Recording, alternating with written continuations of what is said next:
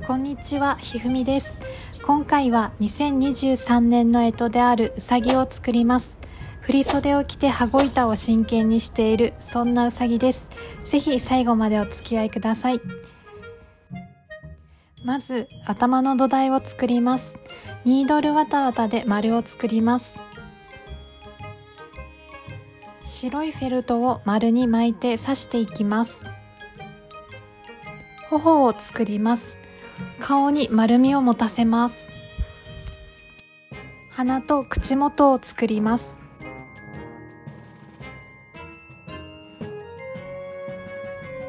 目を作ります。消えるチャコペンで下書きをします。目の色は暖色系で、下半分と上半分は色の違うピンクを使います。白色で白目を作り、紫色でアイラインを引きます。縁取ったら中央に青色、光を白色で表現します。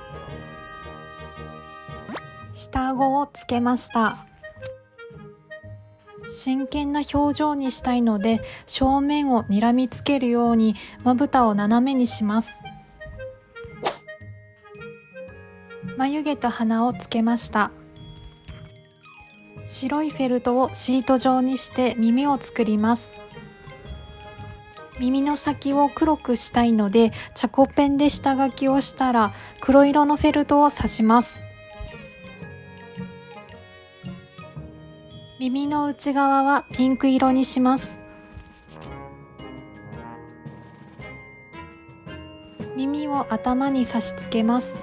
前に向かってジャンプしているように見せたいので、耳は後ろに倒し気味にします。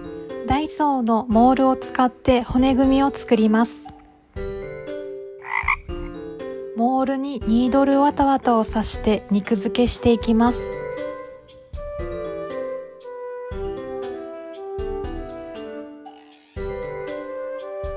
つま先を作ります。チャコペンで帯と口元を下書きします。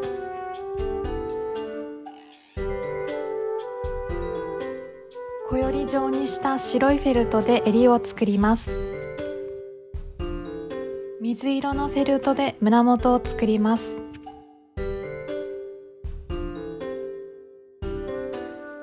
ピンクのフェルトを刺してあたかも重ね着をしているかのように表現します。帯を作ります。ベージュ色をシート状にしてお腹に刺します。小より状にした紫色を帯の上に刺して帯揚げを作ります。帯が寂しいので少し模様を入れます。振袖の下半分を作ります。水色とピンク、その間に白を敷いて全体をまんべんなく刺しシート状にします。グラデーションを作ります。裾に模様を入れます。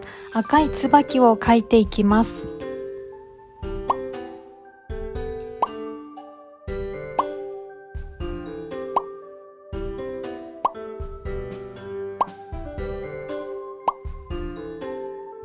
細かくて見えないのですが歯に葉脈を刺します花びらに濃い赤色を刺すことで影を作ります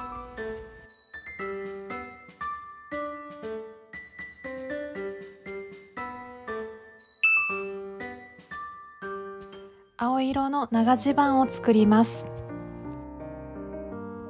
紫色で草履を作ります。かかとを高くして傾斜をつけます。草履を足に刺します。鼻緒を作ります。たもとを作ります。先ほどと同じように3色のグラデーションにします。シート状になったらワイヤーを仕込みます。ワイヤーを少し内側に置いたらシートを折り込むようにして刺します。ワイヤーを仕込むことでたもとに動きをつけることができます。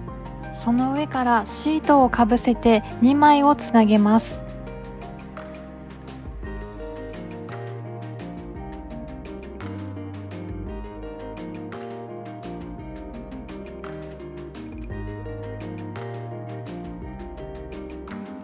目を作ります。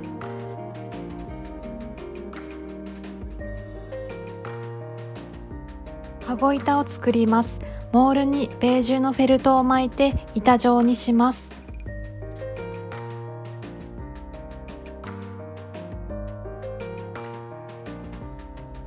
羽子板に富士山と松の模様を入れます。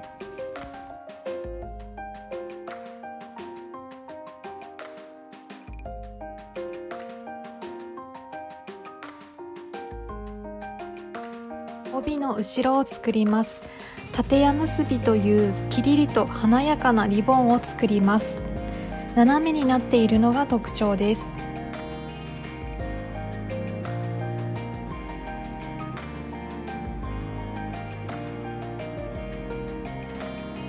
長襦袢を腰に差し付けます。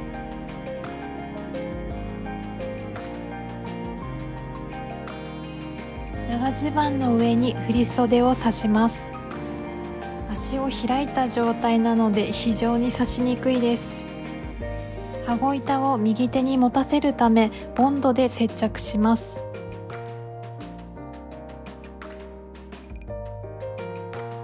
固定して乾くまで1日寝かせます。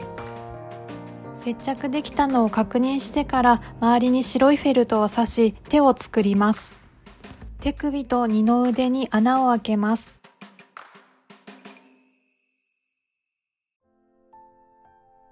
穴を開けたらたもとのワイヤーを通し固定します。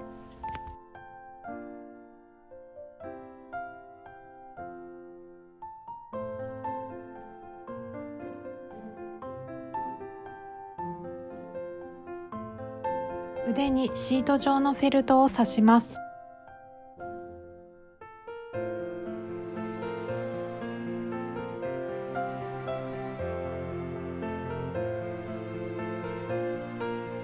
これで体の完成です。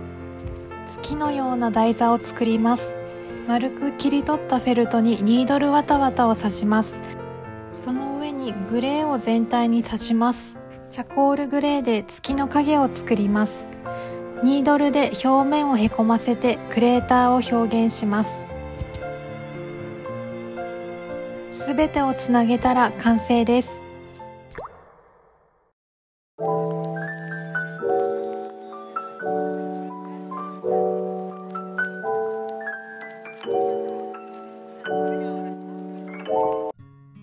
がでしたでしょうか、えー、今回はちょっと違うテイストで作ってみました。ちなみに制作期間は1ヶ月半かかりました。え、失敗をたくさんしたので作り直しなどをしていたら途中で飽きてきて、え、何度も投げ出してしまい余計に時間がかかってしまいました。今年は一つの作品に時間をかけてじっくり作っていく予定です動画の更新頻度は落ちますが作品の質は上げていきたいと思っています。特に動きを意識した躍動感のあるキャラクターを作ることを目標にしています。去年より少しでも成長できるように頑張ります。応援よろしくお願いします。ではまた次の動画でお会いしましょう。